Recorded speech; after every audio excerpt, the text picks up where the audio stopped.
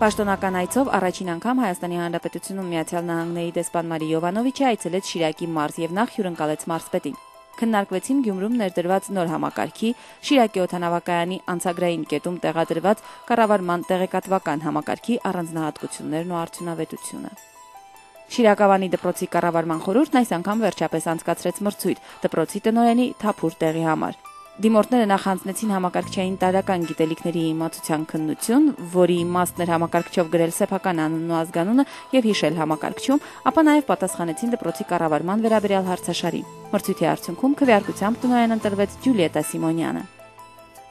Հայփոստ Փակbaşնի տիրական ընկերությունը դեռևս 2006 թվականի նոյեմբերից հավատարմագրային կառավարման էր անցել հոլանդական Հայփոստ Տրանսմենեջմենտ ընկերությանը, որը մինչև օրս իրականացնում է Հայփոստի կառավարումը։ Վերջին 1 ամսվա ընթացքում կառավարման մեխանիզմը փոխվել է եւ նոր հավատարմագրային կառավարիչ է նշանակվել։ Բայց ինչպես վստահեցնում է Հայփոստ Բակբաժնետիրական ընկերության Գյումրու մասնաճյուղի տնօրենը, Գյումրու փոստային բաժանմունքների աշխատանքում ոչ մի փոփոխություն չի իրականացվել։ Հավատարմագրային կառավարչի փոփոխությունից հետո էլ Հայփոստում ղեկավարման սկզբունքը մնալու է նույնը, եւ այն ծրագրերը, որոնք նախատեսվել էին իրականացնել 2006 թվականից, մնալու են ուժի մեջ։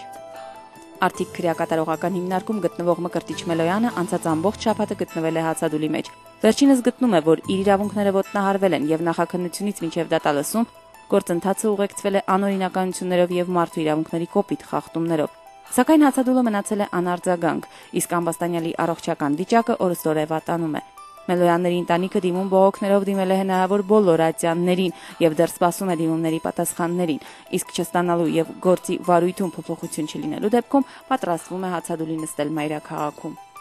Աննախադեպ իրավիճակ էր այս շաբաթ հյուսիսային քրեական դատարանում, որտեղ կայացավ մատաղիսի գործով հերթական դատալսումը Հայաստանի Հանրապետության սահմանադրական դատարանն անվավեր եւ սահմանադրության որոշ հոդվածների դրույթներին հակասող է ճանաչել դատական օրենսգրքի որոշ դրույթներ դրանցով առաջնորդվել է հյուսիսային քրեական դատարանը մատաղիսի գործով դատապրոցեսի ընթացքում Լոռու մարզի 4 համայնք այս շաբաթ համալրվել է գյուղատնտեսական տեխնիկայով։ Որոշ համայնքներ էլ այս շաբաթ գազաֆիկացվել են, իսկ Լոռու մարզի որոշ համայնքի բնակիչներ էլ այլևս կունենան ռոռոկման եւ խմելու ջուր։ Լոռեցիներն անչափ կարեւորում են գյուղատնտեսական տեխնիկայի ձեռքբերումը։ Առանց տեխնիկայի հնարավոր չէ պատկերացնել գյուղատնտեսության զարգացումը։ Իդեպ 1991 թվականից առ այսօր տեխնիկական պարկը չէր համալրվել։ Այս բարեգործությունը իրականացվում է գյուղական ձեռնարկությունների եւ փոքրացավալ առևտրային գյուղատնտեսության զարգացման ծրագրով, որում որում ընդգրկված են Լոռու մարզի 25 համայնքներ, ընդհանուր հաշվով նրանց կտրվի 1 միլիոն 600 հազար դրամի օժանդակություն։ Վանաձորում ապրում է ոչ երկրաշարժի հետևանքով անօթևան մնացած 900 ընտանիք, որոնցից 16-ը մոտ ապագայում կազատվեն տնակներից եւ կտեղափոխվեն Տարոն 3 տեղամասում գտնվող բարեկարգ եւ նորոգված բնակարաններ։ Ծրագիրն իրականացվել է ամերիկահայ բարերար Սթիվ Լազարյանի նախաձեռնությամբ արտաբարեգործական կազմակերպության Վանաձորի քաղաքապետարանի եւ հայկական Habitat բարեսիրական կազմակերպության միջոցներով։ Շինարարական աշխատանքներն ավարտական փուլում են իսկ Վանաձորցի Ասոյանների ընտանիքի վիճակը խոսքերով դժվար է նկարագրել։ Վերջիների սուսահատությունը հասկանալու համար հարկավոր է տեսնել անգամ տարական կենցաղային եւ հիգենիկ պայմաններից զուրկ բնակարան հիշեցնող կիսավեր շինությունը։ Ասոյանների համար ոչ միայն բնակարան, այլև անգամ փոքրիկ տնակ ունենալը անիրագործելի երազանք է։ Ասոյանների ընտանիքի միակ եկամուտը 26000 դրամ նպաստն է։ Երեք անչափահաս երեխաների հայրը 49-ամյա Լևոն Ասոյանը առողջական լուրջ խնդիրներ ունի եւ ունի մշտական աշխատանք։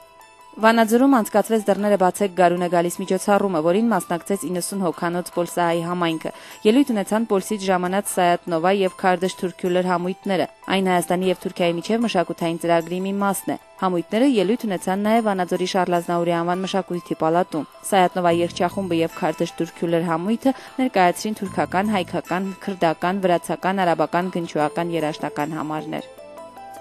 Ուրոլոգները այս շաբաթ հավաքվել էին Վանաձորում։ Նրանք անցկացրին ուրոլոգիայի խնդիրներին վերաբերող արտագնան նիստ, բայց նիստի վայրը պատահական չէր ընտրված։ Այն նվիրված էր Լոռու մարզում ուրոլոգիայի զարգացման երախտավորներից անվանի բժիշկ Յուրի Բաբլումյանի 75-ամյակին։ Լևոն Արեշյանի անվան թիվ 1 հիվանդանոցային համալիրի ախտորոշիչ բաժանմունքը անվանակոչվեց Բաբլումյանի անունով։ Բացումն իրականացրեց Բաբլումյանի թորնիկը Յուրի Բաբլումյանը, ում հետ անվանի բժիշկը մեծ հույսեր էր կապում։